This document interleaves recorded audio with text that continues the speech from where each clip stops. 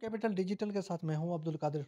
नाजरन वैसे तो आम हमने मुसनफ़ देखे होंगे, बड़े-बड़े आर्टिस्ट देखे होंगे, दुनिया में हमने बड़े-बड़े नामी-गिरामी आर्टिस्ट देखे होंगे। आज जिस आर्टिस्ट के पास हम मौजूद हैं, इन्होंने कुछ अलग तरीके से जो है मुनफरद तरीके से आर्टिस्ट का तरीका अपनाया है, जिस दुनिया को हैरान कर दिया। उस वो तरीका क्या है मैं आपको बताता हूँ। पहले आप देखें ये जो पीछे तस्वीर जो आपको नज़र आ रही होगी ये कोई तस्वीर जिससे आम पेंटिंग कर करते हैं उसी तरीके से नहीं बल्कि जो डॉट होते हैं जिसको हम फुल स्टॉप कहते हैं, वो यहाँ पे इनके अंदर लगा-लगा के ये तस्वीर पेंट की गई है। उसमें आप देखें कितने आर्टिस्ट का कमाल देखें कि इसमें कोई महसूस भी नहीं हो रहा कि कोई डाट के ज़रिए ये बनाई गई है। ये जिस शख्स नौजवान ने बनाई हम उनसे तो बात करेंगे लेकिन इस वक़्त जो ये तस्वीर ये सैलाब मुतासिर सैलाब मुतासिर के दौरान जो तस्वीर सामने आई उसको देख के ये उन्होंने बनाई है। इसमें पाँच साढ़े पाँच लाख से ज़्यादा जो है वो डार्ट्स हैं जिसकी बुनियाद पे ये तस्वीर जाकर मुकम्मल हुई। नीचे भी आप तस्वीर देख सकते हैं, जिस नौजवान ने बनाई वो नौजवान है उमरकोट से उनका ताल्लुक है। उमरकोट के गाँव हाजी मगन मंगरू के गाँव का ये प्रवासी है। इनसे हम जानते हैं कि इन्होंने जो है जो अलग से एक तरीका अपनाया है पेंटिंग का। वैसे आम तरह से तो हम देखते हैं कि मुसन्निफ़ जो है वो सामने तस्वीर रखता है, सामने से जो है बनाना शुरू कर देता है।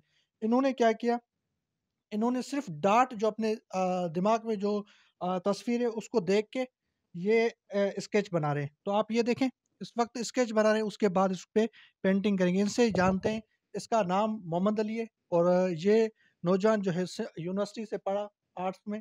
उसके बाद इन्होंने यहाँ अपनी जो है तस्वीर बनाना शुरू की जिसको अब पज़ीराई मिल रही है। आज हमने इनसे वक़्त लिया ख़ास करके हम यहाँ पे आए हैं, इनसे बात कर रहे हैं उमरकोट, इनसे जानते हैं। क्या कहेंगे आप सर?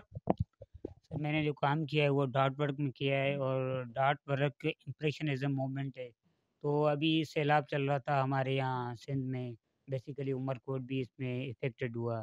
तो मैंने पेंटिंग बनाई कि मैं ऐसा बनाऊँ क्योंकि वो जो आर्ट है, जो मेरा है उसमें मैं एक मुनफ़रद करने की कोशिश करूँ। तो मैंने हाफ़ मिलियन डॉट से जो पेंटिंग आप देख रहे हैं वो मैंने बनाई और उसमें अंदाज़न पर मिनट एटी सिक्स डॉट मैंने लगाए। एक माह का टाइम लगा इस पेंटिंग बनाने में। ये आपने तस्वीर बनाई अमूमन हमने देखा है लोग इस सामने तस्वीर रखते हैं, उसके बाद ये बनाना शुरू करते हैं। आपने कौन-सा अलग तरीका इसमें अपनाया है? आप कह रहे हैं मैंने डार्ट से ये तस्वीरें बनाई, ये तो कुछ अलग ही मुनफरद तरीका आपने अपनाया है। ऐसा कहीं पहले दुनिया में किसी ने किया है कि डार्ट के ज़रिए जो है पेंटिंग बनाना शुरू की हो? हाँ, बेसिकली ये यूरोप कंट्रीज़ में डॉट वर्क चलता है क्योंकि इम्प्रेशनिज़्म मूवमेंट वहाँ से स्टार्ट हुई है। सो यहाँ पे भी आर्टिस्ट काम कर रहे हैं लेकिन मैंने जहाँ तक रिसर्च किया तो डॉट को काउंट नहीं किया जाता है, जस्ट पेंटिंग बना दी। तो मैंने एक टारगेट रखा कि मैं इसको डॉट तो लगा रहा हूँ, इसको मैं अगर काउंट करूँ तो वो मेरी पेंटिंग एक मुनफ़रद बन जाएगी। तो उसके लिए मैंने उसका टाइम टाइम पीरियड जैसे कि एक घंटा काम कर रहा हूँ तो उसकी ड्यूरेशन उसके साथ वो पेपर पर लिख देता था। उसके बाद जो मैंने सोचा कि ये जो मोमेंट है इसमें मैं आगे ये तो हाफ़ मिलियन है, आगे मिलियंस मिलियंस पे भी हम डॉट वर्क में काम कर सकते हैं। अभी भी मेरा प्रोसेस वर्क जारी है जो मैं इंशाल्लाह नेक्स्ट पेंटिंग बनाऊँगा कायदत मोहम्मद अली जिन्ना की। वो भी इन मेरे जो टारगेट है वो वन मिलियन तक है। उसमें व 1 दिन मिलियन जो है वो आप डार्ट उसमें शामिल होगी। इसमें भी जो आपने तस्वीर बनाई है, इसमें कितने डार्ट हैं? जो ये पेंटिंग मैंने बनाई है इसमें हाफ़ मिलियन है। अंदाज़ महसूस भी नहीं हो रहा कि पेंटिंग है या डॉट है। हाँ, ये दूर से महसूस नहीं होता। अगर करीब से हम उस पेंटिंग को व्यू करेंगे, चेक करेंगे तो हमें पता चलेगा कि ये डॉट पर है। जैसे कि आपने अभी मैं पेंटिंग बना रहा था तो उसी में भी आपको डॉट नज़र आ रहे थे। तो ये पॉइंटर है, पॉइंटर से डॉट लगाते हैं हम। अच्छा फिर आपने ये अ, कोर्स किया या आपने जो है बचपन से इसका शौक था या अभी जो है आपको ऐसा ख़्याल आया कि मैं इस तरीके से बना सकता हूँ या बचपन से ही आपने इस पे काम शुरू कर दिया? नहीं, आर्ट तो गॉड गिफ्टेड होता है, लेकिन मैंने सोचा कि इसके आर्ट की जो सोसाइटी में वैल्यू है, हमारे यहाँ थोड़ी कम है। तो मैं गया सिंध यूनिवर्सिटी से फाइन आर्ट्स किया मैंने। उसमें हमें वहाँ पे dot work, pointillism, miniature art और मुख्तलिफ़ जो भी मीडियम से वो वो हमने उसमें काम किया। उसके बाद मैंने सोचा कि अभी मैंने बैचलर ऑफ़ फाइन आर्ट्स किया। तो फाइन आर्ट्स करने के बाद मैंने सोचा कि मैं ऐसी पेंटिंग बनाऊँ जो एक नुमाया हैसियत रखती हो। तो मैंने ये डॉट वर्क में पेंटिंग स्टार्ट की और इंशाल्लाह कंप्लीट भी हो गई है। मैं देख रहा हूँ पीछे अरशद शरीफ की, मरहूम की भी यहाँ पे पड़ी हुई है, शहीद अरशद शरीफ की। तो इसमें, इसके अलावा कौन से जो है बड़े-बड़े अपने नाम हैं जिसकी पेंटिंग बनाई हो? आपने मैंने देखा आतिफ़ असलम की भी आपके पास है, उसके अलावा बहुत सारे जो है डॉक्टर अब्दुल कदीर खान है ऐसे आपने इस तस्वीर में जिस तरीके से शो किया कि इस वक़्त सिंध की जो सूरत-हाल थी सैलाब में, उसमें भी आपने बताया कि क्या सूरत-हाल थी। उसके अलावा आपने भूख अफलास से इस वक़्त जो सूरत-हाल है उसमें तस्वीर में भी आपने ये क्या आपको तस्वीर आपके सामने थी या आपने इनको सोचा बस इस तरीके से मुझे बनानी है? नहीं, तस्वीर तो फ़ोटोग्राफ़ी करनी पड़ती है, लेकिन उसके पहले उसको रिसर्च करनी पड़ती है कि इस पेंटिंग को मैं बना रहा हूँ, तो उसके पीछे मेरी रिसर्च भी होती है। इससे नहीं है जैसे अरशद शरीफ का आपने बोला कि ये तो पोर्ट्रेट है।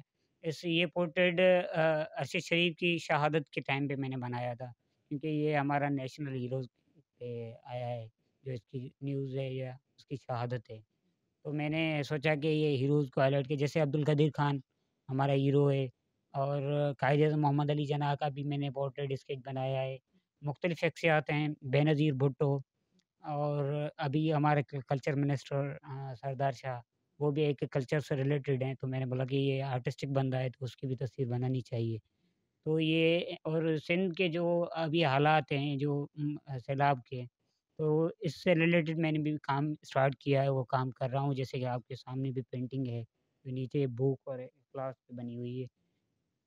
अच्छा, ये काम जितना भी होता है, ये इतना मुश्किल काम होता है क्योंकि आम आदमी तो इस पे नहीं जो है काम कर सकता। लेकिन आपने क्या आपको इस सवाल से कोई पज़ीराई मिली हो, किसी ने जो हुकूमती नुमाइंदे ने किसी आपको बड़े लेवल पे बुलाया हो या किसी कॉम्पिटिशन में आपने कभी हिस्सा लिया हो? आपने तो एक आम सिंध यूनिवर्सिटी से डिग्री की, उसके बाद आपने ये बनाना शुरू कर दिया।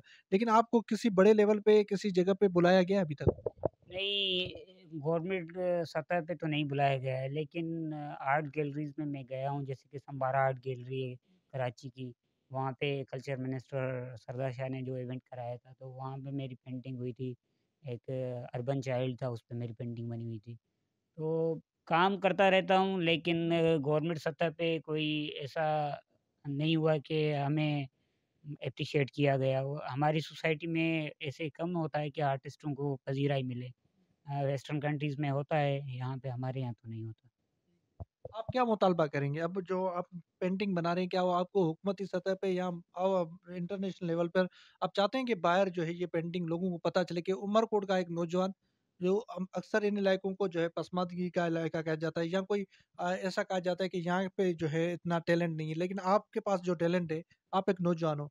आप जो पेंटिंग बना रहे हैं ये इन थर के इलाकों में ऐसी पेंटिंग बना रहे हैं। आप चाहते हैं कि आपका ये जो टैलेंट है ये बाहर तक पहुँचे? हाँ, मैं तो ये चाहता हूँ मेरा काम जो है वो इंटरनेशनल गैलरीज़ में डिस्प्ले हो और काम को पज़ीराई मिले। एक होता है बंदे को होता है यार मेरी काम की पज़ीराई हो रही है तो मैं उस पे काम करता रहूँगा। और ये है कि इंशाल्लाह काम तो करना है या आर्टिस्टिक बंदा है तो वही काम करेगा, पैशन है जो पैशन को तो कंटिन्यू करना पड़ता है। लेकिन मैं जो गवर्नमेंट है, गवर्नमेंट से यही मुतालबा होगा कि आर्टिस्टों को प्रमोट किया जाए। आर्टिस्ट जो भी हैं अभी वो बहुत कन्फ्यूज़ हैं क्योंकि हमारी सोसाइटी में वैल्यू ही नहीं है आर्टिस्ट की इतनी ज़्यादा जितनी इंटरनेशनल कंट्रीज़ दूसरी है वहाँ पे है आर्ट की वैल्यू।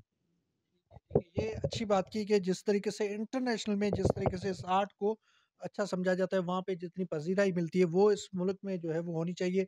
ये नौजवान है, उमरकोट का ये रिहायशी है, इन्होंने जो है पेंटिंग बनाई। इनका बस ये मुतालबा है कि जो ये पेंटिंग बना रहे हैं, ये अभी मैं जहाँ पे आया था, तो ये एक बच्चे की यहाँ पे पेंटिंग बना रहा था, तो उसमें भी डार्ट है, बिल्कुल मैं यहाँ पे देख सकता हूँ कि उसमें भी डार्ट तकरीबन है।